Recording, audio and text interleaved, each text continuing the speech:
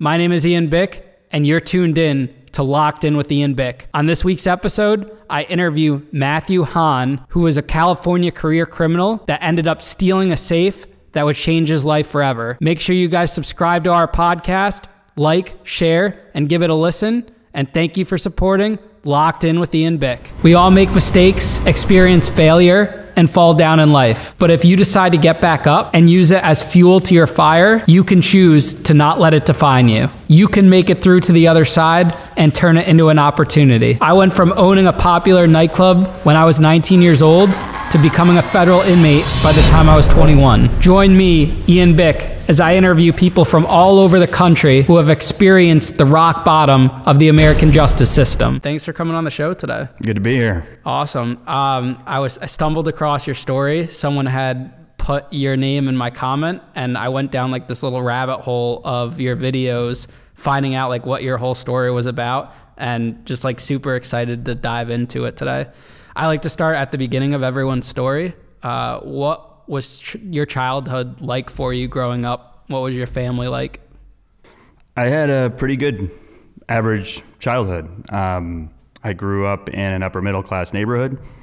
Um, no trauma to speak of, no adverse childhood experiences to, to speak of. I know we like to talk about that sometimes with people who've been to prison. Uh, the, the only thing that uh, comes up for me in terms of my childhood was my parents getting divorced um, maybe starting around the age of 10 or 11 years old. There's a lot of fighting in the house. Um, my father moved to a different bedroom of the house, and so that was something that impacted me as a, a young adult or a teenager. And uh, yeah, I started experimenting with drugs in high school and pretty much was an okay student, okay kid until I found methamphetamine and eventually dropped out my senior year. But nothing significant in my childhood that would point me in the direction of going to prison. Why did you get into drugs to begin with? Despite having a good childhood, good upbringing, what propels someone to get into that? It's a the proverbial question, right? Like, uh, I'd say like maybe it started out with curiosity. Uh, maybe it started out with a little bit of distrust for authority. Um, I grew up in the the Nancy Reagan just say no to drugs, dare kind of like programming in elementary school. So like third, fourth, fifth, sixth grade, you know, we were getting pumped with all sorts of very dramatic information about what drugs would do to us. And I was always the type of kid that was curious enough to go, well, I got to at least try it once. And so that's what happened. I think I was in sixth grade. I tried pot for the first time. And what's society's outlook on pot at that point? I'm very curious. So this would that. have been like 1991, something like that. And I'd say that it was considered the gateway drug to all other drugs. So basically, the way I would have understood it at the time, at least the way it would have been taught to me in kind of like drug education in school, was that if I smoke pot, I will eventually smoke crack. And then I will eventually be in prison. Like that was the natural trajectory to smoking pot. Um, and I smoked pot, you know, there that first time in sixth grade, and none of that happened. And so I kind of was like, maybe these people have been lying to me all this time. Like they told me this is what would happen if I did drugs, and it didn't happen. And so I kind of carried that attitude forward. I just had this attitude of investigation and curiosity. Like I'm going to try everything at least once, right? So whether it was drinking, smoking pot, high school turned into kind of hallucinogens and cocaine, and they were always fun. Um, but for me, methamphetamine clicked different. And it, you just hit got, different. You got addicted right off the bat to it. You know, I did speed, kind of like what we at the time would have called crank. Maybe sometime in my junior year of high school, and it wasn't very strong. I didn't like it very much. But when I tried crystal meth, like what back then they were calling it the prope dope. But when I tried crystal meth, uh, right at the very beginning of my senior year in high school, I felt like Superman. And I felt like I'd come home in some capacity. So I'd say, in a way, yeah, I was addicted psychologically to the effects of meth almost immediately. Did you ever sell, or were you always just a user? I was pretty much a user. I, of course, would buy bigger sacks sometimes and, you know, sell some of it to some friends who were using with me, but I never bought meth with the purpose or with the intention of making money. uh, selling drugs. That was never my intention. Do your parents know that you're using drugs at this point, and do they try to step in, intervene, stop you at all? Uh, well, my dad had moved out. My dad had moved out of the house at that point, so it was just me, my mom, and my sister. And no, I, I, I don't think my mother or my father, for that matter, knew I was using meth specifically. They knew I was using drugs. They knew there was something going on, but I don't think they knew I was using meth specifically. Not early on. Uh, I sometimes laugh because uh, I'd had a conversation a number of years after I went to prison the first time, and somehow uh, the conversation led to my mother discovering around the house like little pieces of straw, like straws, because we had plastic straws in a drawer, and I'd like cut them into like you know two inch pieces so I could do lines uh, of methamphetamine. And she said she would find them around the house, and she had absolutely no idea. Or she'd go into the drawer and she'd find like half a straw, and she could never figure out what was going on. That kind of tells you how naive uh, my mother was with regards to at least hard drugs. So they didn't really know what was going on. Obviously, by the time I dropped out of high school, which happened about halfway through my senior year, and I was on the verge of turning 18, they knew that there was something up. And they had a conversation probably a month or so before I turned 18 about whether they should snatch me up and send me off to a rehab before I turned into an adult. Because once I'm an adult, they can't snatch me up anymore. And they were too late to do that? Uh, I, they disagreed about whether it should be done. And why did you decide to drop out of high school? What was like the deciding factor for you? Have you heard this story already? Of the high school dropout? yeah. No, that's okay. I'm curious about it. uh, so it's kind of a funny story. We love funny stories. So, have you ever heard of meth monsters? No, you've never heard of meth monsters. Never. I was never really into drugs or anything. Um, I and this is way before my time too. I was born 1995. So if this was like a, a pre 1995 era, then I wasn't a part of it. Meth monsters. So when a person does meth, you probably know they stay up a long time. They stay awake a long time. So when I would do meth, particularly in the beginning, I could do a line or two and I'd stay up two, three nights. Uh, there's a close friend of mine. We uh, we'd buy like twenty dollars worth, like a quarter gram, and that would keep him and I up for the bulk of a week in the very beginning. So we wouldn't sleep much. We also wouldn't eat much, right? And this is why you often see people who are addicted to meth. They like kind of look a little crazy, but they've also lost a lot of weight, and they kind of get sucked up. Is the word we have for it. So what also happens with not eating and not sleeping is auditory hallucinations, visual hallucinations, and we used to call those hallucinations meth monsters. So in time, I started to recognize that I was having these hallucinations, so I'd come up with rules for what uh, constituted a meth monster, when the hallucinations were real and when they were fake. And basically, if I shined a light on a meth monster, it would disappear. If I talked directly to a meth monster, it would never respond to me. And if you were ever looking directly at a meth monster, it would never move. It was only moving like in the peripheral of your vision. That's kind of like how these hallucinations work. So one night, it was a weekend night. It was around midnight. I was sitting in my front yard. A friend of mine and I saw something creeping up to my mother's fence in the side of the yard. And he saw it, I saw it. So this, if this was a hallucination, it was both of us hallucinating this. And so we ran to the garage. We got a flashlight. We got an axe. We were to go figure out what was going on. And when I shined the flashlight over the fence, there was a dude, like dressed in all black, dressed like a ninja. He had like reflective tape on the back of his arms. And I wouldn't have known this at the time, but today I'd say he was doing Tai Chi. Like in the middle of the night, dressed like a ninja, like doing Tai Chi under like this willow tree in the neighbor's front yard. I shined the light on him. He was still there. I stared at him. He kept moving. And then I yelled at him and he growled back at me. He growled. Like it was this blood curdling, crazy like growl. And I was, it was probably one of the scariest moments of my life up to that point. We turned around, we booked it into the house. My friend was so scared he had someone come pick him up. He called the cops and said, There's something going on on the street over there. Uh, of course, this was a small town. The cops knew me. So when somebody said there's something going on on that street over there, they just came to my house to talk to me. And I wasn't very smart about this. Um, you know, I'm 17 years old. I told them, I'm like, man, I saw a ninja in the, in the, in the yard next door. They took me to juvenile hall that night. Uh, just for reporting a ninja. Well, they figured I must be on meth if I'm talking about ninjas. like, if you haven't been around people who do meth, there's a little bit of discussion about ninjas. Okay. That's the other thing that people often describe meth monsters as, is as ninjas. Uh, I came back from juvenile hall just later that morning because they determined that I was not under the influence at the time. I came home. I was smoking a cigarette in my, in my front yard, walking down the street. I was barefoot because that's the way they'd arrested me. And some neighbor called the cops on me. So the cops showed back up at my house and they're like, Matt, what's going on? We heard you're smiling. And I said, this is how it's going down, right? Like you're, you're, you're responding to a call because I'm smiling.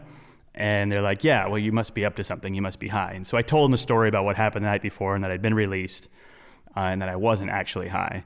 And the cops left. And for whatever reason, at that moment, I decided that the world wasn't made for me. This is some stupid kid stuff, right? Like nobody understands me. Everybody's a liar. Authority sucks. Like I'm never going back to school. And so I didn't. That's when I dropped out of high school. Was that, that same day? That that was my deciding moment. Very rash decision. Yeah, definitely a rash decision. But that was the that was the event that spurred my dropping out of high school, and then I just went on a good meth run. So after this, you drop out of high school, and then you start committing like small petty crimes. What's the first crime you commit to support your habit or just to support yourself in general? Well, in the beginning, I'd say some of it probably started before this. Uh, in the beginning, it was, uh, yeah, petty crime like stealing from like construction sites or stealing from stores. Uh, it was mostly uh, a result of when you're up all night, as I was, I didn't really want to hang out in my house, right? Because my, my mom and my sister are asleep. And so, like, a friend and my, uh, a friend and myself would go and hang out somewhere else. And we used to party at like construction sites in the middle of the night, even before doing meth. Like that's where we'd go party because like it was a place to like kind of drink and, and do whatever you wanted to do. So we'd go to these construction sites at night, and that's where we'd hang out in the middle of the night when we were high. Well, while we were there, we started to notice that there was tools and toolboxes and things that people who worked there had left scattered around. And I happened to know that the guy I was buying dope from liked tools. And so that's kind of what started it. I started stealing these tools, I trade them for dope. I steal these tools and trade them from dope. Um, and over time, uh, I just got ballsier. You know, like I, I thought I had morals. I thought I had like ethics, like there were lines I wouldn't cross. You know, I said, well, I'll steal from a construction site, but I'll never be as bad as to steal from someone's home next thing you know, I'm stealing from like a car or a garage. And then it'd be, all right, well, I'll steal from a car or a garage because they left it unlocked, but I'll never be as bad as someone who goes into their home. And then I'd cross that line too. It got to the point where I was essentially addicted to stealing. Uh, the, the meth wasn't doing it for me anymore. And so I was just addicted to stealing. And I went around kind of all night long stealing from people opportunistically. And you're still living at your parents' house while this is happening? Yes and no. I mean, my mom would kick me out, and sometimes I'd live in like the minivan. Sometimes she would let me live in the garage, and then I'd be allowed back in the house. But yes, technically living at my mother's house. You're the neighborhood crime junkie. To, you know, you're getting a bad rep around town. Neighbors don't like me at this point. Eventually, this catches up to you, and you get five years in prison. What are the charges that land you in prison that first time, and how old are you? So I was 18 years old. This is 1999. Uh, basically, the charges were first degree burglary, second degree burglary, and possession of stolen property. Uh, first degree burglary is when you steal from something that's considered a residence. So most of my crimes were stealing from garages, but the way California law defines a residence is that you, if the garage is attached to the roof where people live, then the garage is itself a residence. And that was an important distinction for me because any crime where I stole from a residence was a strikeable offense under California's three strikes law. So I was charged with, I don't remember the specific number, but I was charged with, I think, around 20, 20 felonies, all theft related. So they were like investigating you and they, they lumped everything together? No, I was just not a very smart criminal. And so, so when they came to my house, my mom's house, I just had stolen property strewn all over the place. You had it at the house. I just it was just piled up. I was oh, wow. I was an idiot. Okay. Um, and so I just had uh, stolen property all over the place. They did a search warrant on the house and found all that and linked me up to those burglaries. So I took a plea bargain eventually for 12 felonies. Nine of those were first degree burglaries. So that meant I had nine strikes on my record. And how much time do you do out of those five years that you get? So yeah, I took a five year, eight month plea bargain, and I think I only served like 20 or 21 months total. So it wasn't terrible. You get out by the time you're 20, around 20. I ended up paroling at 21 because I had some time in between where I'd bailed out and been in a drug program and stuff. Now, essentially, you get out and you have a second chance at life at this point. Clean slate, I guess you could say, but California has the, that three strike law. What is the three strike law? Uh, there's the way it is, and then there's the way people understood it. So the way it was understood by most people is that you commit three violent felonies in your life and you go away for 25 to life. Uh, the way it actually was is that it's three violent or serious felonies, and you can get all those strikes on a single arrest, like I did when I was 18, and then any felony, no matter what it is, can get you a 25 to life sentence. So that meant that I was walking around the streets after coming home from prison the first time with three plus strikes on my record. So, so any more, and you're facing life in prison. I possession of dope, 25 to life. Stealing a pizza, 25 to life. Didn't matter what sort of felony it was. I was facing 25 to life. That's got to be a scary thought.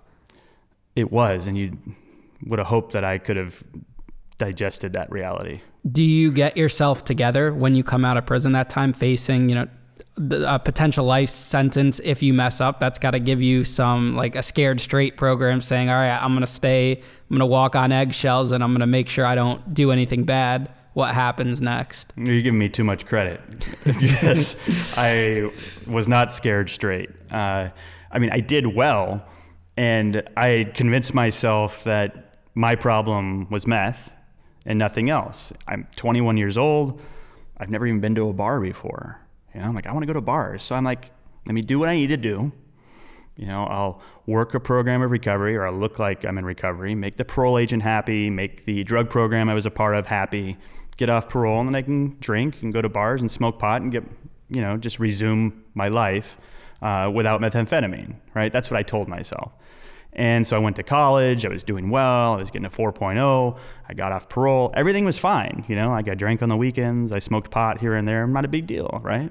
How long does that last for? Because the story goes bad. It, yes, of course, doesn't end there. of course, the story goes bad. Things went well until they weren't going well anymore. So in uh, I paroled in August of 2001, and in October of 2003, uh, one of my closest childhood friends committed suicide. Uh, and it was pretty violent. It was, it was he, it, it significantly impacted me, and it was my first exposure to death like that. I'd had family die, but like great grandparents and things like that, and it just felt different than the guy you grew up with uh, killing himself. And um, and this isn't to blame him. It's not what this is about. But uh, I was unable to cope with with his death, and so what was successful drinking and pot smoking and whatnot leading up to his death in 2003 um, transitioned into daily drinking, smoking pot all day. Doesn't sound like a big deal until I relapsed on meth like a month later. And you know, you may not be familiar with the term like hang out a barber shop long enough, get a haircut, but it, it, that's basically what was going, what happened with me is I'd been offered uh, drugs like meth or coke in the years prior.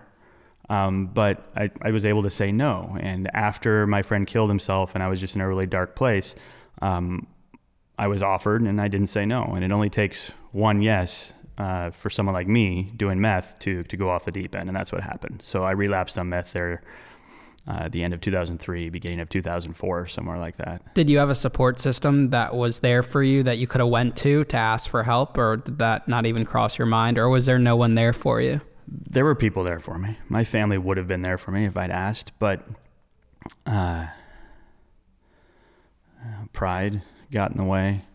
Um, I know my father tried to get in touch with me. He knew something was going on, and he wanted to talk to me and uh, about a drug problem, you know, my drug problem again. And I remember him bringing the subject up, and I just had so much shame about having not learned my lesson, uh, so much pride about not wanting to be asking my family or friends for help that I just ignored him. In fact, I just stopped answering his phone calls. Uh, so pride and shame got got in the way uh, of getting the help I needed. Do you think you wouldn't have relapsed after your friend's incident um, if it wasn't so accessible to you, the drugs? Were you just like hanging around a bad crowd that you were able to have access to it that fast again? Yeah, you know, if, if you don't have a history of drugs and you also don't therefore have a history of being in like 12 step programs or recovery programs, but one thing they tell us in those programs is and that's where that whole hang out at the barber shop, end up getting a haircut kind of line comes from is that you have to extract yourself from the people, places, and things with whom you were hanging out before because you can't have those influences. And I felt like I was smarter than those recommendations. I felt like I was smarter than those suggestions. And so, yeah, I had a, not all of them, but I had a handful of people still in my life that I'd hung out with before. And in fact, when I reconnected with them after coming home from prison, they were doing well too. Eventually, they had relapsed. It's just a domino effect. And I just kept hanging out with them anyhow, even though they'd relapsed. And that's when uh, I said yes to the offer. So the recommendation to stay away from folks like that is a, is a good one. And I didn't take the recommendation. Now, because you're back on drugs, you go back to your stealing habits. And 2005 ish, you end up stealing a safe from a house or wherever you stole it from that changes your life forever. What can you tell me about that incident? Like, what's the safe? Where do you get it from? And what exactly happens? So, I had been speaking with a friend of mine, and he had told me about, well, I had expressed my desire to get a three wheeler. You know, like the quads. Yeah, well, now they had, now they're quads, but around that time they had banned three wheelers in California because they're so dangerous, I guess, from flipping over or whatever. And so I, I'm like, I want to find a three wheeler. And I told this to my friend. He's like, I know a dude who has a three wheeler. And that dude owes me a bunch of money for dope. Uh, and so he told me where this guy lived, and I realized that he lived relatively close to me. And so I decided that I would go there and see if I could steal a three wheeler. I went there one night. I searched the backyard, didn't find any three wheeler. I figured, like, okay, maybe he's out of town using it somewhere. So I decided that I would go back a couple of nights later. So I had a guy that I used to do crime with. I don't want to call him a friend.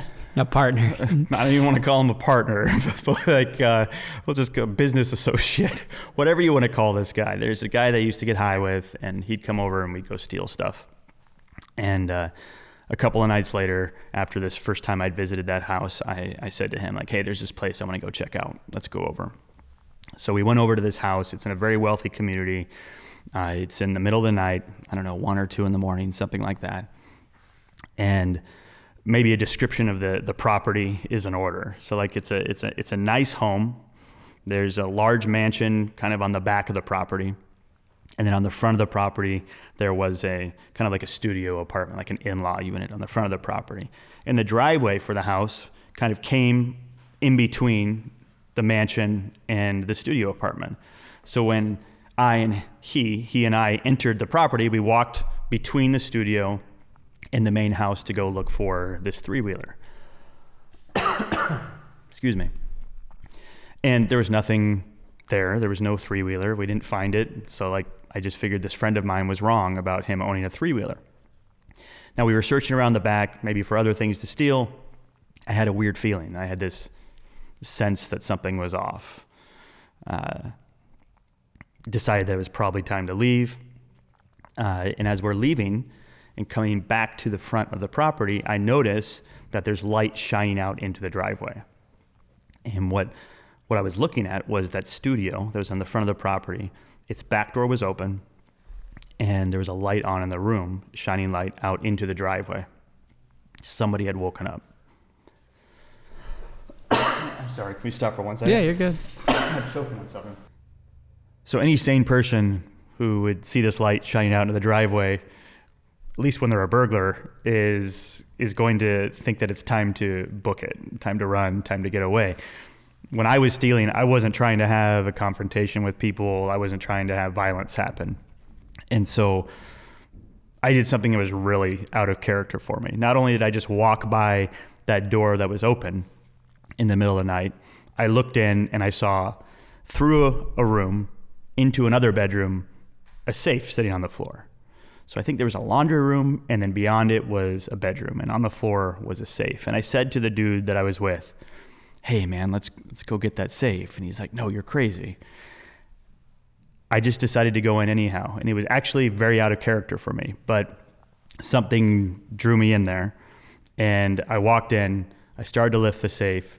I called out to the guy I was with and said, I need you to help me with it. So he did. He came in, he helped me. We carried the safe out to my pickup truck, threw it in, and I drove home.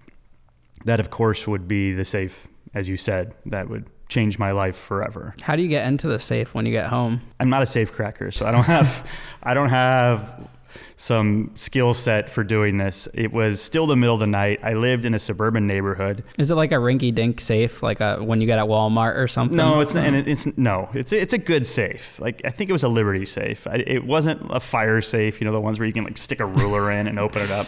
It wasn't one of those. This was going to take like some tools. And I had tools, but they were all going to make a whole bunch of noise. Like I had like die grinders and pry bars and saws and all sorts of stuff. But it's like three in the morning, four in the morning, and I can't make a racket like that in my neighborhood without the cops getting called. So I told the dude that um, I had done this burglary with, look, I'm going to wait till 8 a.m., wait till the sun comes up, and I'm going to start cracking this thing. And he said, okay, well, uh, uh, just let me know what's in it. Now, of course, like the burglar in me, the thief in me was like, well, this is fantastic. I'm going to open the safe, and he's never going to know what I find in there, right? So that's what I did. I waited till 8 a.m. and I started grinding it with a die grinder and whatnot, and kind of opened a corner of the door uh, of the safe and got a pry bar in there and opened it enough for me to reach inside. And you're hoping there's money, jewelry. I'm whatever. hoping for money and jewelry or something like but that. But you don't find that. No, I don't find that. You stick your hand in. What do you pull out, and what's your reaction? Well, the first thing uh, I pulled out was a diaper, A dirty diaper. A, a dirty diaper. Uh, I mean, I reach into a safe. You don't expect to feel something squishy like that. And so when I pulled it out, I thought, oh, maybe somebody's got something that's like valuable or breakable. And that they're trying to like put it in the diaper to keep it from rattling around. Does But- it smell bad or anything? No. Okay. Now, I never verified what it was, but I did open it up and see that it was just a diaper that was full of liquid. I didn't test it to see if it was urine or anything like that, but I found that diaper in there. And then I found a few more diapers, and I also found a gun. I found like a pack of, uh, of new, fresh diapers. I found paperwork for the guy that owned the safe, uh, his adoption paperwork. And uh, I found a, a memory card, a digital memory card for a camera. What do you do with the memory card? Do you put it in the computer and check it out? So I took the memory card and I put it into my computer. And the first thing that happened, and this is something that happened with computers in the early 2000s, is you would put something into either like a floppy disk slot or a, a memory card slot, and all these miniature versions of the, the photo would show up as thumbnails, kind of like streaming across the screen. And so I saw all these thumbnails, and I remember thinking, oh, I stumbled upon somebody's like homemade porn collection, you know, something that somebody might have done with their, their girlfriend or boyfriend. That's what I thought. And so I clicked on one, and the first photo I looked at uh, felt weird. It felt like there was something off, but I wasn't 100% sure what it was that was wrong. So I started scrolling through the other photographs, and I don't remember how many there were. It might have been six or eight or 10. They kind of blur together, but I learned pretty quickly that what I was looking at was an adult man and a child. Um, a child that I thought was maybe three years old, and it, it was sexual activity. So I was looking at um, not just child pornography, but uh, evidence of, of abuse. What's your reaction to this? What are you thinking? In the beginning, I was shocked because you know I've known that things like this exist in the world, and I I was just shocked that I'd stumbled on it. I was disgusted when I saw it, but I was also outraged, and I knew that I had to do something about it. I didn't know exactly how or what I would do at that very moment, but I was also very sure that I would do something about it. What do you do next? Well, I called the guy that I had stolen the safe with. You called him? Mm-hmm. Okay. I told him that he needed to come over. And uh, now, if you had found money, you weren't going to call him. I probably would have called him, but maybe there wouldn't have been as much money. Okay. So I wasn't an honest character back then. So you call him, he comes over. What happens? Well, I I showed him the basic stuff that was in there, and then I said, "But you have to see this." So I showed him one photograph from what was on there, and he just recoiled and said, "I don't want anything to do with this." And uh, I said, "Well, I think I'm going to turn him into the police," and he just reiterated, "I don't want anything to do with this." So I said, "That's fine.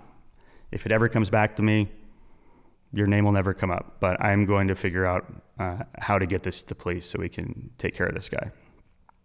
And that's what I ended up doing. Like later on that night, I put the, the memory stick into like a change purse, and then I put it in an envelope with a note on the outside that said, please deliver to uh, the Los Gatos Monte Sereno Police Department, graphic photos, pictures of abuse, something like that. And I included in the, um, the change purse with the memory card uh, the address I'd stolen it from, or the street I'd stolen it from, the name that was associated with the paperwork in the safe, and then I said something along the lines of, uh, "I stole this. I don't want anything to do with it, but please remove this animal from the streets." Do you feel like you made the right decision to send it anonymously rather than go in yourself and explain what happened?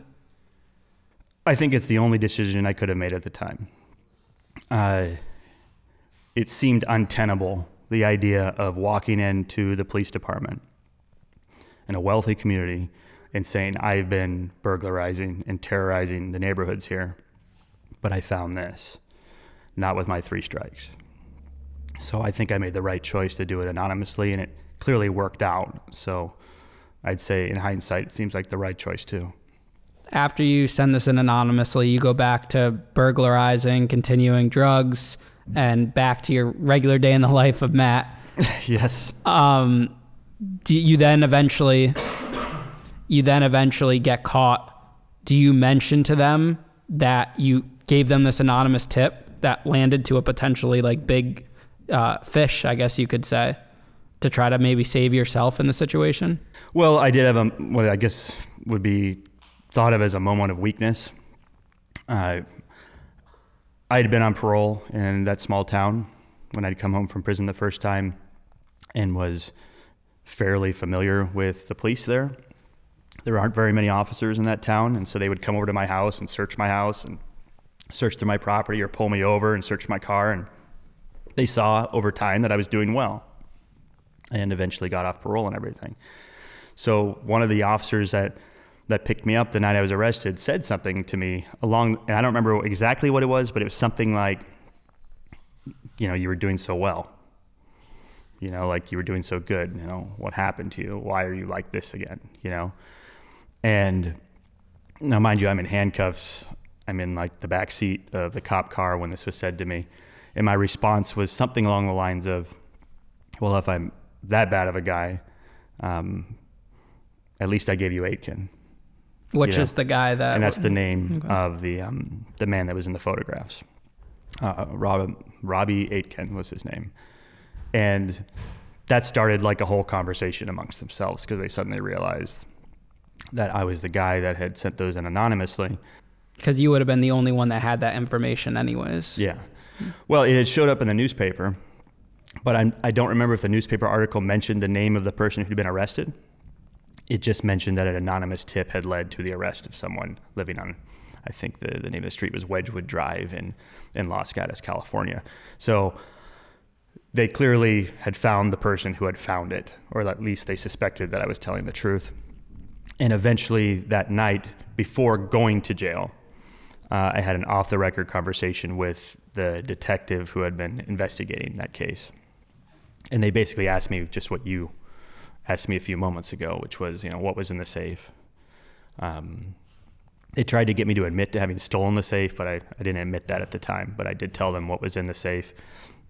And they said that it would remain off the record, which they did keep off the record. So all that conversation, they never made it part of the official record. How much time are you facing at this point? Because now you're on your third strike. Yeah, so I was originally charged with four counts of possession of stolen property. And in California's three strike law, that's 25 to life for each one. So that would have been 100 years to life. The investigation continued, and eventually I was charged with 16 different felonies. How old are you at this point? 25. So I was charged with 16 different felonies, and that would have been 25 years to life for each one. So that was 400 years to life I was facing. What's going through in your mind at this point? You're sitting in this jail cell. Obviously, they don't give you bail.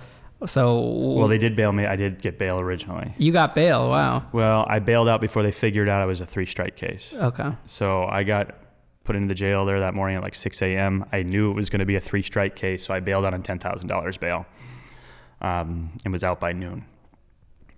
I had a court date that was coming up like two weeks later. And uh, so obviously I had a decision to make because I knew when I went to court, they were going to take me. And I knew when I went to court, I was going to be facing a life sentence. And I did a lot of soul searching those couple of weeks. And uh, I kind of just came to the conclusion that A, spending the rest of my life running wasn't something that I wanted to do. Uh, I had some money, but money goes fast. And I just realized that I was just tired of lying. I was tired of hurting people. I was tired of cheating. I was tired of stealing. I was tired of addiction. I was just tired of all of it. It's a lot to process for a 25 year old. Yeah. And uh, I just, some part of me knew that it wasn't going to come to an end unless I went to jail. Does the prosecution offer you a deal? Well, at that point, I wasn't even that far into the case yet. I went to court and basically turned myself in. Uh, and the prosecution did not offer me a deal. In fact, because I'd been stealing from the wealthier members of society, uh, the the prosecution wanted to take me to trial and get as much time out of me as possible. Did the prosecution know at this point, though, that you had helped them in, in a pretty big case? Probably not at the very beginning, but I'd been I ended up being in the county jail for a year and a half, almost two years on this case. So they did eventually learn from the kind of like word of mouth from the police department to the prosecutor's office that I was involved in that other case. And that made them rethink and offer you a deal? Well, the person who was prosecuting the other guy, uh, that district attorney came to visit me in the county jail and basically said to me, uh, We have a chain of custody issue. The, the evidence was obtained illegally through a burglary. And there were motions filed on his, uh, on his part by his defense team to have the photographic evidence thrown away because it had been uh, acquired through a criminal act. And essentially, the district attorney, attorney needed it to be proven that that criminal act wasn't performed by law enforcement. But you had to snitch on yourself in order to do that. Well, and that's where things get a little little dicey Little for me, dicey. right? Because uh, my defense, uh, what I was hoping for if I went to trial was that I had never been caught doing a burglary. I had never been caught in the act of stealing. So I was hoping that I would go to trial, get convicted of just possession of stolen property, and that nobody would want to actually send me away to li- for life for possession of stolen property. So my defense depended upon there being no evidence I was actually stealing. So when this prosecutor came to prosecutor came to visit me to ask me to to testify to having stolen the safe, that would have been a problem for my defense. But when all things were said and done, and she kind of basically said, "You can do what you want. I'm not offering you a deal. I can't offer you a deal. This isn't law and order. This isn't TV or whatever. I know those sorts of things do happen in the criminal justice system, but it didn't happen that day." She says, you just do what you think is right. And she eventually asked me um, if anybody else had ever possessed the safe from the moment it was stolen to the moment uh, it made it to the police department, or at least to the mailbox where I sent it. And I said, no, that was me. And I knew that I wasn't going to be mounting a defense. Uh, I also agreed that if she wanted me to say it in court, I'd be willing to. So that was kind of the day, I suppose, that I let go of my own life in a way because I wasn't going to be trying to defend myself at trial at that point. Do you think you could have avoided this whole aspect had you just turned in the safe yourself rather than report it anonymously?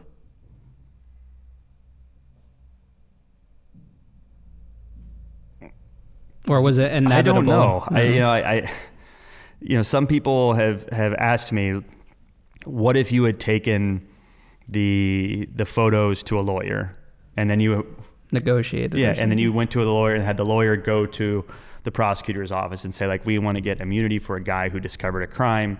Yeah, maybe that would have worked. I didn't think that. I wasn't thinking like that though.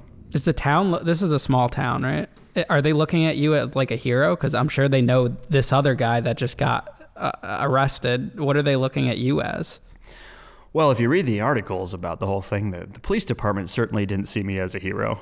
Uh, Well, you were a, a career criminal at this point. uh, I can't tell you what the whole town thought, but what I can say is that once this stuff hit the newspaper, once people found out that I was facing more time uh, than the guy I'd caught doing those crimes, uh, there was a little bit of outrage. Uh, it became national news, but locally, people from that very community started uh, a petition, albeit a smaller petition, but they started a petition uh, trying to get the district attorney or the courts to offer me leniency. So there were clearly people in the community who felt like, yes, he harmed us, yes, he commit crimes against us, but um, he definitely doesn't need to be doing the rest of his life in prison or as much time as the the person whose crime he discovered. Did that outreach for leniency help you? What- Eventually, yeah. What'd you end up getting? So eventually, uh, I took a plea bargain of 11 years, eight months. 11 years, four months, excuse Way me. better than 25 to life. 25 to life would have been the low end. So yes, it's way, it's way better than anything else I could have, I could have gotten had I had to contend with a three, stri- three strikes law. And you you get how much time? After the plea deals for 11, do you get more than that or did they give you that on on the money? Yeah, at least most of the time when you do plea bargains, it's whatever the plea bargain is, is exactly what you get. And this is a state or a federal case? This is a state case. Okay, so you end up in the California state prison system That's right. for a second time in your life. For a second time. California has like one of the most notorious state prison systems. You think, you know, state prison, you're thinking Texas, California, uh, New York, New York City. What's it like for you at this point? As a young person, you're not even 30 yet. And, and what state prison are you at? Well, you move around a lot in California state prisons. Um, I'm sure you do this in other states too, but you know, there's a prison you go to for reception where they decide, you know, how dangerous are you, right?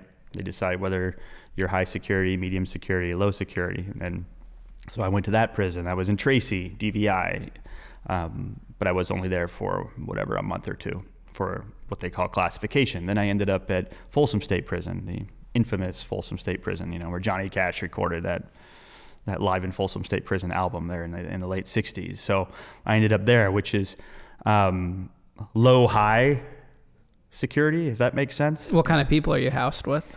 Everyone, um, in terms of general population.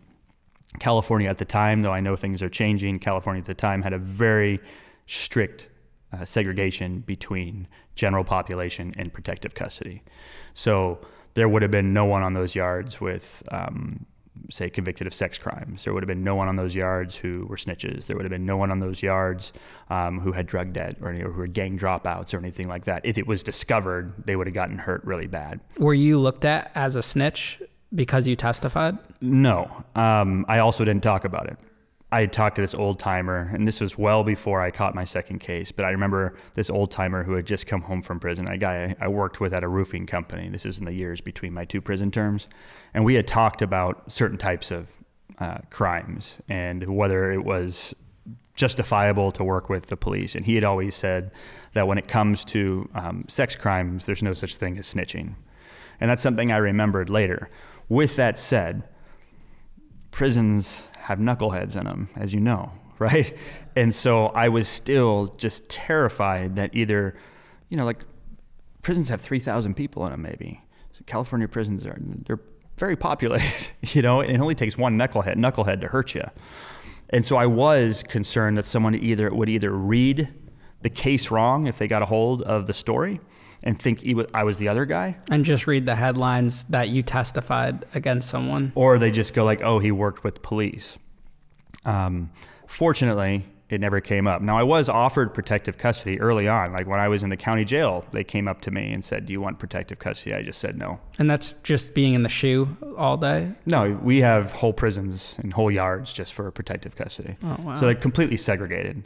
Um, but then I would have possibly been on a yard with him, right? Like in California, they're called SNY yards or special needs yards, and they're people who are for uh, for whatever reason are afraid to be in the general population. Though I paroled more than 11 years ago now, and the prison system has changed a lot since then, such that general population is the minority now, and SNY is the majority uh, of the prison population in California. So things would be different if I had gone to prison today.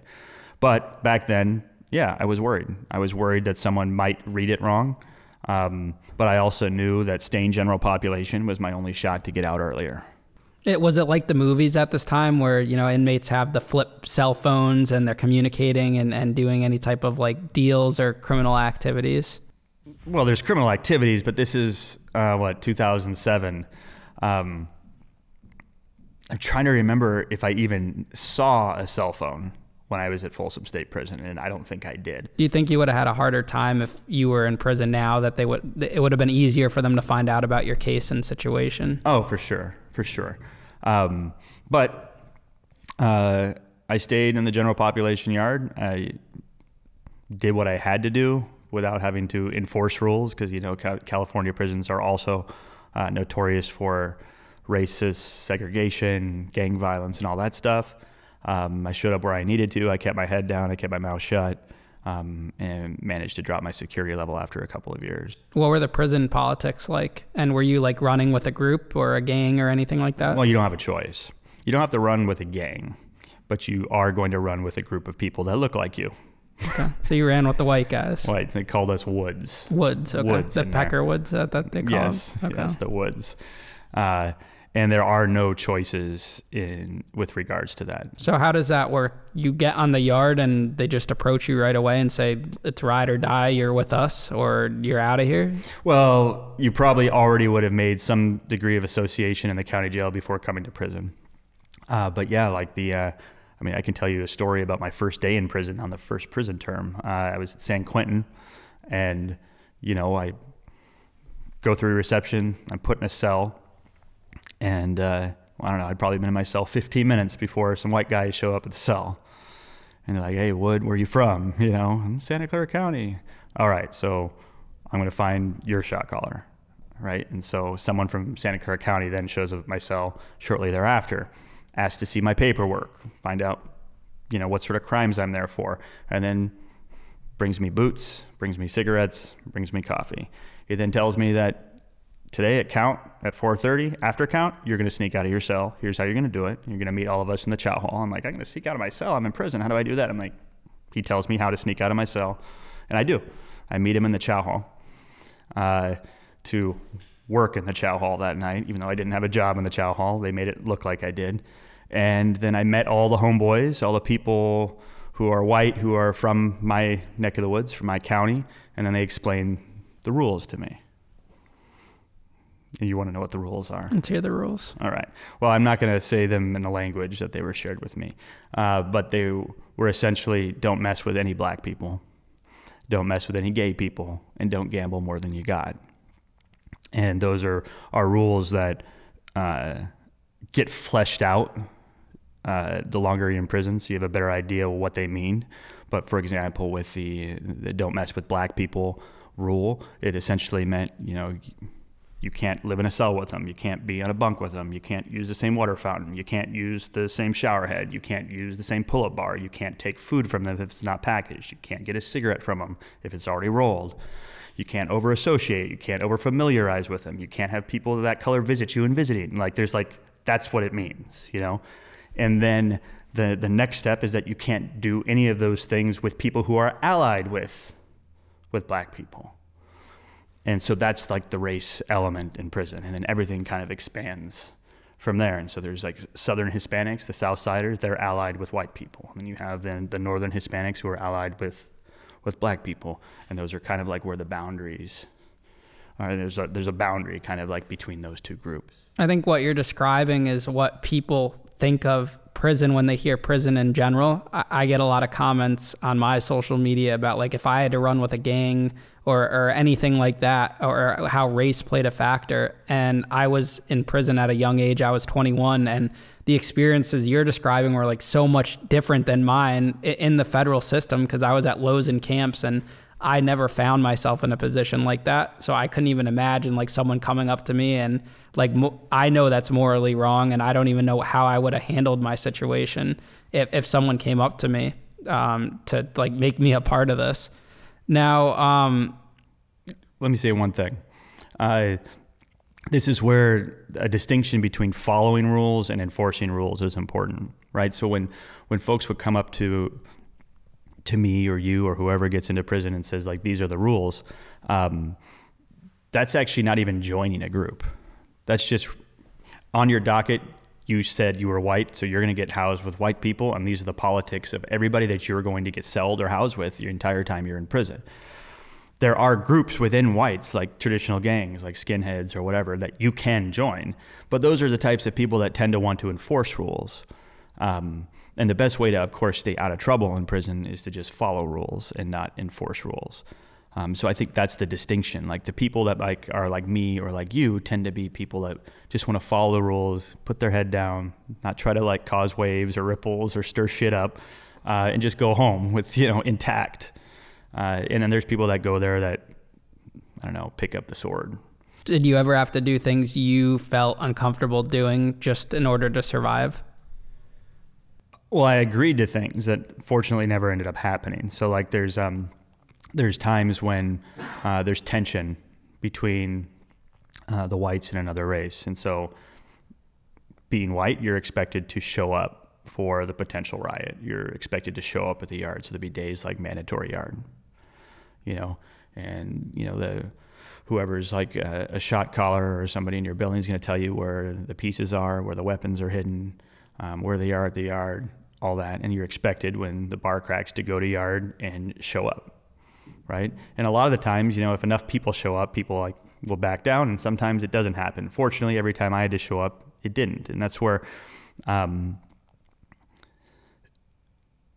my experience was that not being involved with like the the racial violence that can that happens in prison is more often than not a matter of luck. You know, you can make choices to limit the exposure you have to those things.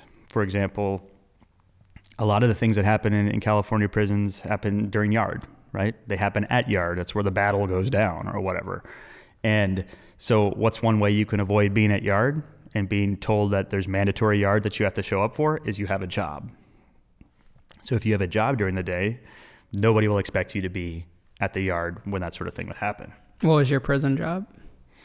Uh, the first few months, I was a landscaper at a place called China Hill. Landscaper. Okay. Yeah, so I had a weed whacker, but it was cool because like when we were up there, we used to grow vegetables like illicitly, and then there was a period of time when they had like a weird strip out, and they weren't stripping us out, and so there was a period of time when a bunch of us were smuggling vegetables back into the cell blocks. Uh, and then after that, I was in the welding shop, and that's always an interesting place in prison because you see people like kind of building the weaponry that will get used later on. Um, but I was I was in the welding shop uh, there, and eventually, you know, this is after I dropped security level and ended up in a minimum security camp. I was a uh, I was a firefighter. You were a firefighter. Yeah, well, in California, there are things called fire camps. I've heard of those. They yeah. made a movie about that. Yes, there's movies. There's Did some you watch really, the really. movie? I don't know if I saw the movie, but I tried watching the thing on CBS recently. and It's so bad. Yeah. But there's one on CBS. I think it's called like Fire Country or something like The that. The movie they made they has a bunch of uh, like famous actors in it. I saw the trailer. It's on my list to watch. I have like this list of movies that came out while I was in prison that I never got to see. I would be like uh, going through the U.S. Weekly magazines or Us Weekly, whatever it's called, Uh-huh. And they would have like the movie premieres. So I would keep a journal of like new songs, new music, new books, um, and that was like always one of those movies I wanted to see. So you're actually fighting fires. Oh yeah, I fought fires. That's crazy. Yeah. Can could you run away, or is it like well, are the guards there fighting? well, there's the no guards with you? when you're fighting fires. Really? Like they'll be like at the bottom of the mountain somewhere. You know, it's not like the guards want to fight fires. They're just there to arrest you if you do something stupid, right? Like bring you back to the prison if you if you if you behave wrong. That is wild. So yeah, like you know, and you could end up in all over the state of California. Sometimes you end up away from the prison for as much as 30 days. Um, if I remember right, 30 days was the max, and they had to bring you back to your camp. Where are you sleeping? Uh, well, when you're on, when you're first in the fire, there's no base camp, so you're sleeping on the dirt. You know, you're out in the forest, and you've got like a, a moon blanket. It looks like tinfoil, and you wrap yourself on that, and you sleep right there. Uh, once the fire is big enough, uh, like an incident that might last two weeks, three weeks, a month, or whatever, there ends up being a base camp where you'll work a 24 hour shift and then you go to the base camp for 24 hours. You shower, you eat, you sleep, you have a sleeping bag kind of underneath the tent, and then you go back out and you work another 24 hour shift, fight fires, and you come back, and then you're in base camp for 24 how, hours. How much are you being paid an hour to fight fires as a prisoner? Uh, at the time, uh, we had a daily stipend, and it depended on what you did on crew. Like if you were just like a, a, a guy with a rake, you got like a dollar seventy-five a day, and if you were uh, a sawyer, if you had a chainsaw, I think you got I don't know like two ninety a day, and then you got a dollar per hour uh, for every hour you were, were away from the prison. So if you uh, were gone from the prison for ten days, that's 240 hours. So you get $240. So you had to risk your life in order to make not even a decent minimum wage. Oh yeah, it's not even a minimum wage, and to be perfectly honest, so uh, fighting fires is less dangerous than hanging out behind the walls. Oh, totally.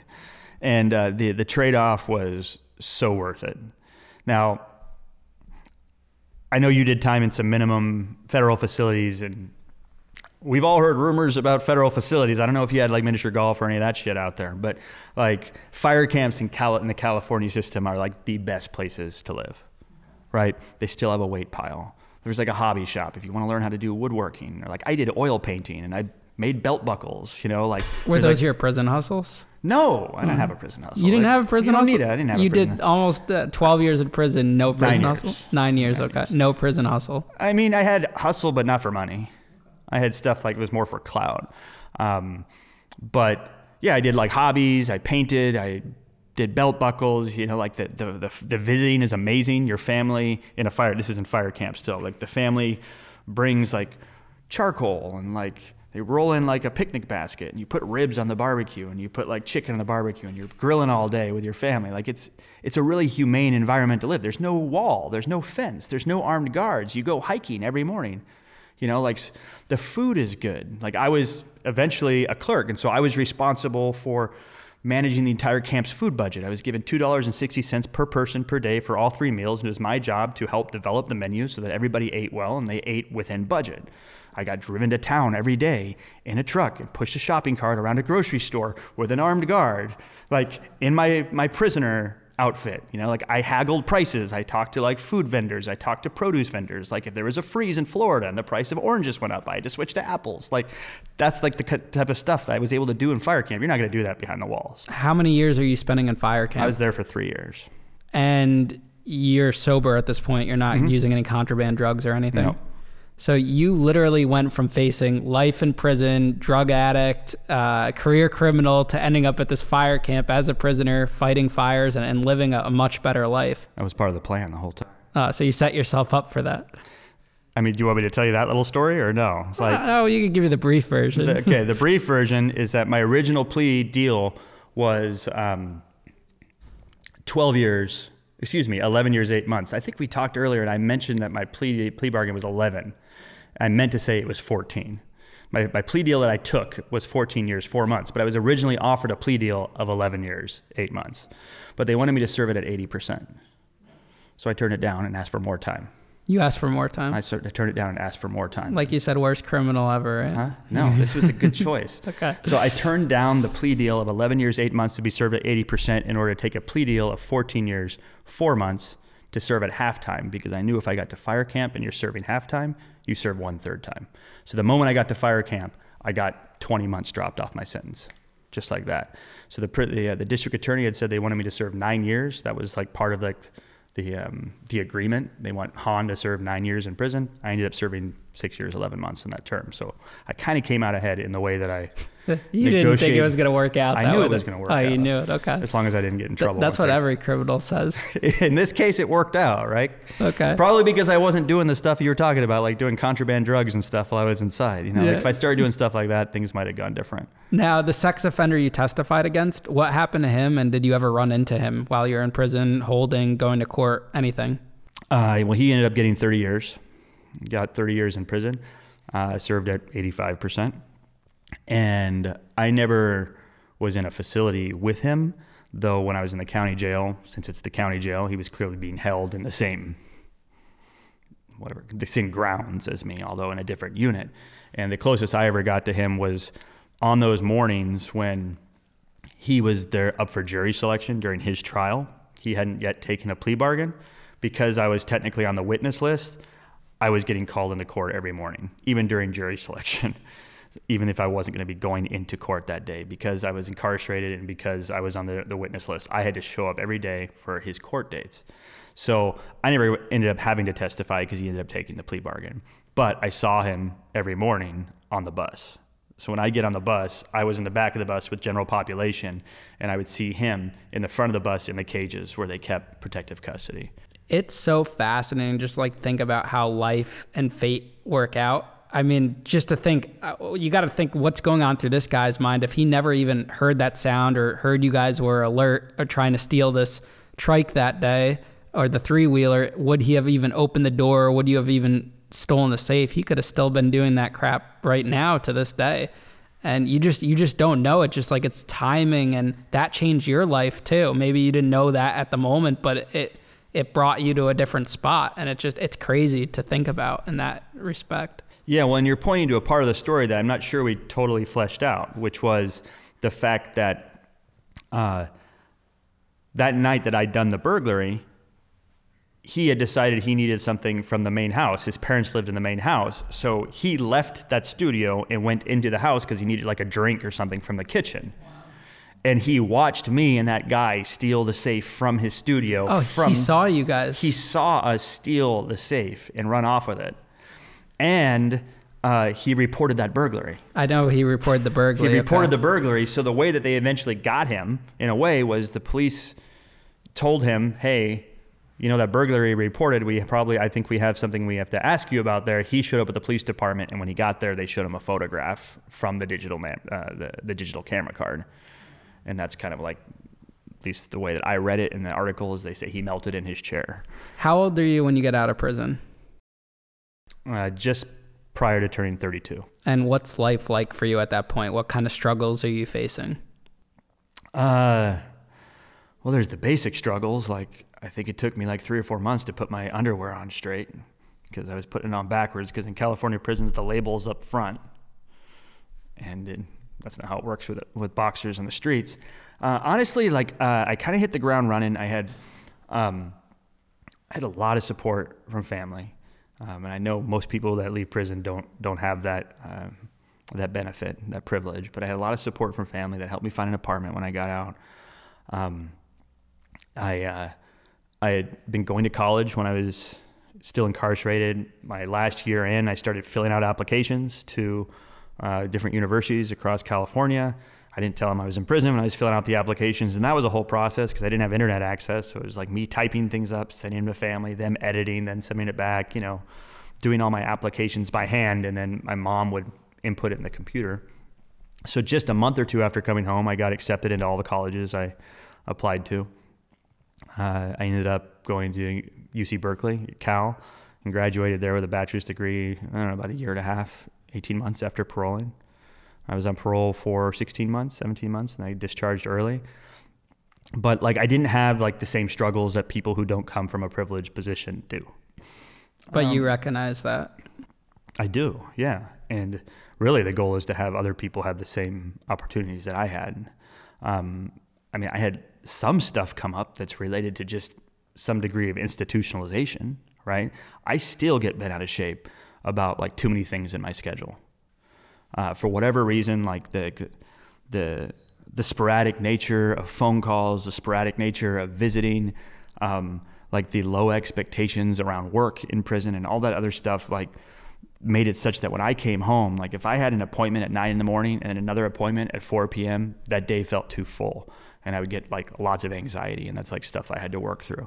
The other thing I had to work through since coming home from prison is, um, you know, we talked about this. Like I didn't really, I was worried about one knucklehead in prison learning my story and misinterpreting it, right? And that meant that I spent a lot of my prison term hiding in a way. Not hiding from the yard, not hiding from the general population, but not trying to reveal too much personal information such that folks would like connect dots and go, oh, that, that's the guy that was in the newspaper. That's the guy, you know? And so I grew, without realizing it, of course, like deathly afraid of vulnerability. deathly afraid of telling my story, deathly afraid of telling people I've been to prison, so that when I came home, I'm a chatty fella. You know what I mean? Like I can talk, you know, but and so people would be surprised to find out that if I would like start to get close to certain topics, I would start freezing up. I'd start having like lots of anxiety. I'd have fight or flight responses. I remember trying to come out of my shell a little bit my last semester when I was at Berkeley and talk about my history in prison and like I had a fight or flight response when I was talking to people. Not typical stage fright. I'd already been talking for 15 or 20 minutes about like my early childhood and whatnot. The second I started talking about prison politics and the violence inside and stuff like that, like my whole body went into uh, kind of a trauma response. And so I had to start working through that and was eventually diagnosed with complex PTSD as a result of just years of living in environments like that. Uh, I have a feeling lots of people who go to prison um, have something like that you know, some type of anxiety, some type of stuff related to, um, you know, the sense of having to remain vigilant the whole time you're there, the sense of having to like assure yourself some degree of safety. How did you end up working through that?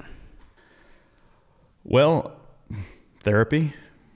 I, I found a therapist who uh, was willing to work with me. And I was also fortunate enough, we haven't really talked much about this, but I found meditation and mindfulness and Buddhist practice while I was in prison.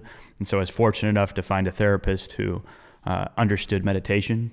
And so when I went to meet with her, especially in the scenarios when I was actually having some sort of anxiety or fear response, uh, I was able to do talk therapy, but also do kind of bodily awareness and get meditation training, meditative techniques, ways of getting in touch with the way that fear and anxiety was showing up in my body so that I could name those. And uh, essentially, through the power of naming sensations that come up in my body when I would have like a fear or trauma response, would alleviate their impact, take the power out of them. And so sometimes, and I didn't have to do it today, but I'll often have a lot of fear come up when I get ready to talk about myself to people and be vulnerable. And, and in some scenarios, when it's overwhelming, I'll actually begin my talking by telling people like I have an elevated heart rate, I have tension in my forehead, I have some some heat in my lower back, there's sweat in my palms, and that very fact of bringing attention and awareness to the way that it's showing up in my body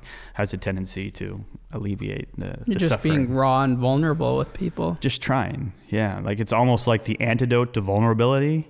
The fear of vulnerability is more vulnerability, and uh, life's a mystery like that, huh? Yeah, I mean, I um I make TikToks every day and I, you know, I'll do talks and I do this podcast and I've done like documentaries and stuff and before everyone I'm always nervous. Like I have like those pre-interview uh, jitters and I don't know if that ever goes away, but I feel like once I get into it and I'm a I'm a person that just jumps right in to something when I'm focused on it. So once I get over that little hump, that always just helps me. It's like when you're afraid to jump into the cold pool, but once you get into it, then then you're good. Did you ever face temptations to relapse on on drugs or any other substance and how did you fight through those temptations after uh, prison? After prison. The second time, the final yeah, prison I get stint. it. I get, I get it. I get it. Uh, I can't say that I have struggled with a desire to use since uh, since coming home, or even since even early recovery in prison. By the time um, I was really getting regularly exposed to drugs, uh, like in fire camp, I wasn't interested. Uh, the closest I've come to a craving was when I went to the Stanley Cup final when the Sharks were playing the Pittsburgh Penguins and uh, whatever it was, 2016, and it was a hot day and it was the Stanley Cup final, and I was pumped and I went into like a Whole Foods and I just saw a Heineken sitting on the shelf, and I'm like, that looks really good. But uh, I just left the section and then I didn't have to think about it anymore. I genuinely feel like for me, and this isn't the case for all people with my history, um, uh, since early recovery, so like since those first couple years were over with, the, the, extreme suffering of being in the county jail and facing life in prison, um, I've lost the desire to get loaded. Um, I don't have things that particularly trigger me too much, so I, I don't have a whole lot to share on that specifically. Um, it's possible that uh, the suffering was so great that it finally learned me in some way. Um, but it's possible. And I, I, sometimes in recovery, we talk about the gift of desperation. Uh, that everything had crumbled in my life so significantly that I was willing to do anything and everything to never have to experience that degree of pain and suffering again. And because of that, uh, I recoil, I suppose. They say this in the program, but I recoil from the idea of getting loaded as if from a hot flame. And this doesn't happen to everyone. I mean, I've met a lot of guys in, that have gone to prison and they go back or they start abusing substances mm-hmm. again. And you're just, you're one of those cases where it worked the other way because the system's set up, you know, to fail essentially. Mm-hmm. And, and a lot of people go back and go down that path. And it's good hearing that you were able to come out on the other side of that. Well, and to be clear, uh, I say this, but I don't say it as if like that's something that happened almost 18 years ago and that I haven't done things since to ensure that I don't want to get loaded. I I spent my first 10 years from the moment I got went to jail that that first day in April 2005. I spent the following 10 years in 12 step programs. I, I, did the 12 steps. I had people sponsor me in the 12 steps. I, I sponsored other men in the 12 steps. Since then, I've transitioned to a different recovery program where it's more mindfulness and Buddhist based. But I have a group that uh, my wife and I started seven or eight years ago now that every Sunday we meet. You know, like I stay connected to people. I, am involved with service for people who are either system impacted, people in prison, or people in recovery. So, like, I stay connected in a way that keeps me perpetually cognizant of where drugs and relapse can lead me. And I also stay involved in service. So, like, you could argue that part of the reason I don't have a desire to use is not only did I suffer severe consequences for using, I stay connected with the recovery community, uh, 18 years almost now. Um, I, I stay involved in practices that support a healthy and happy lifestyle, so I don't feel the need to use. That's great, know. man. Yeah. What do you do for work now? I'm a union electrician. I, I'm currently helping build uh, part of an airport, an air, uh, airport terminal. I'm actually also an elected union official. Um, that's not really my that's not my job. It's more again kind of like service work because after I graduated from college, I had a, a heck of a time finding work as a felon. Um, and I remembered uh, something, a presentation that had been given to me when I was in the county jail by local members of the electricians union. They'd said, "We don't care what your past is, so long as it stays there." I remembered what they'd said. So when I was having a hard time finding work shortly after graduating from college, after coming home from prison, I remembered that promise from them. I followed through with that and I did a five year apprenticeship and they never questioned or cared about where I'd come from. All they cared about is the quality of my work and the attitude I bring to a job. So I try to give back. Which the world needs more of, that's yeah, for sure. Absolutely. And then, uh, yeah, I teach meditation in San Quentin State Prison. I'm part of a Mindful Prisons program. Which what's that like going back into the, a prison, even a prison that you were at? You were incarcerated I was at that, I was there. at that prison. What's that like? Honestly, I before I'd done it, I thought I was going to have some sort of reaction, right? I thought I was going to have anxiety or fear or whatever come up. But um, I realized that, as is the case with most things, like the worst part about fear is the is everything leading up to that thing you're fearing, and then the thing that you're fearing is usually not that bad, right?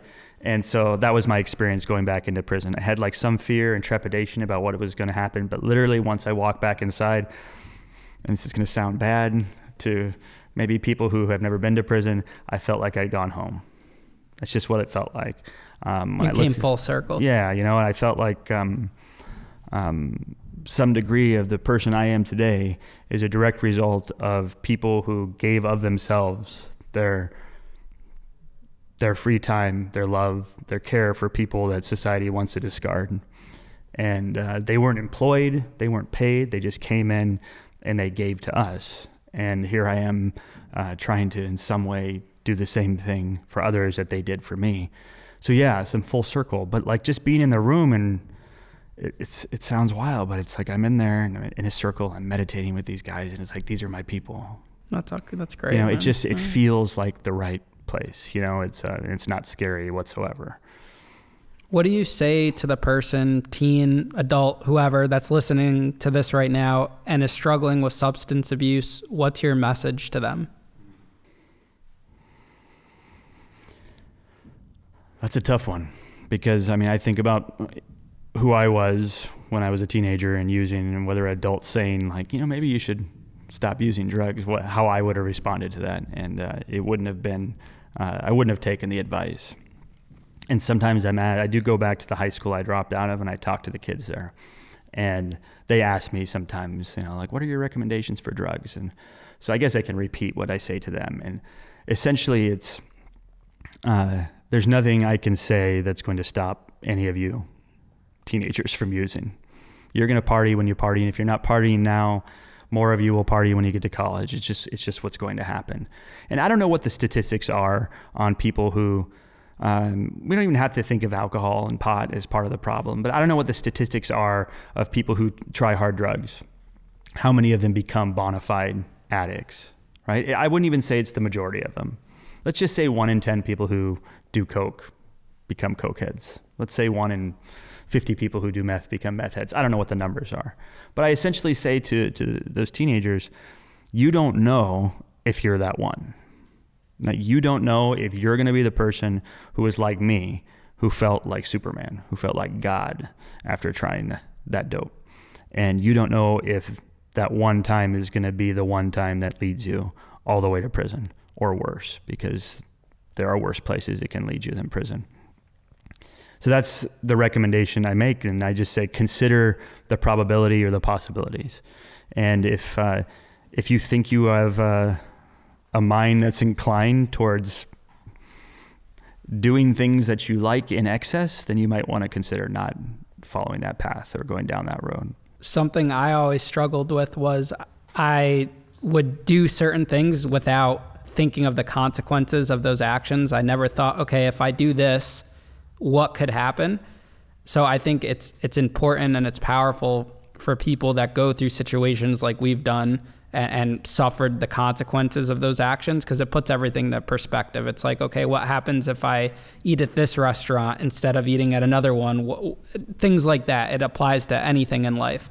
So people looking at stories like yours and they can think, okay, do I really want to try this meth? Because my life could take a turn and I could be dead or I could be alive or I can end up in prison. And it just gets that conversation going of, you know, the what ifs and, and really thinking about the consequences. And not a lot of people can come out of what you went through in, in one piece and doing well. If you never found that safe that day, do you think your life would be a lot different? Do you think I, you'd be where you're at now? No, I'd still be in prison. So the safe saved your life, essentially? A couple people's lives. It's kind of a weird irony to think that if I hadn't commit a particular felony, I would still be in prison. Like there's a, it doesn't make sense. And I'm not even like a God fearing sort of man, but there are, there are elements to my story that make you wonder, right? Like it does, it, like to that night, right? When he had left the house to go to the other house to get to the kitchen and saw me slip in and steal his safe, if I'd had like another cigarette, or if I'd hit like a stoplight, or if I'd hit another green light, whatever the circumstance, anything that delayed me a minute or two, my life would have been completely different. His life would have been completely different. The little girl whose photos were in the safe's life would have been completely different. And so it just makes you, makes me certainly have a certain degree of awe with the way the universe works. And it, it just reinforces the idea that um, uh, when we find opportunities in life, we need to we need to grab them. Uh, I still feel in a way like I'm on borrowed time. You know, I uh, wouldn't be up for parole if I had just gotten the bare minimum, the 25 years to life. I wouldn't be up for parole, at least a hearing, for a couple more years. And so, in many ways, I feel like the since the moment I came home in February of 2012 till now has all been borrowed time. It's all free time. It's all time that's like to develop and give back to the world in a way that I couldn't have previously, and maybe in a way that can make amends for all the harm that I've caused. It's free time. It's extra time. It's all a blessing uh, in some capacity yeah, I, I don't know what to say about. No, that was, you said it all right there. well, Matt, thank you for coming on the show today. It has been great. It's great talking to you. I'm excited to you know see you keep blossoming and and doing your thing, and just um, you know keep being you, man. Like you're an inspiration to a lot of people, and, and keep sharing your story. Don't shy away from that. Keep going to the prisons. Keep showing up, and it has a it has a big effect on people. And uh, I wish you the best, man. Thank you. Thank you. Thanks for asking.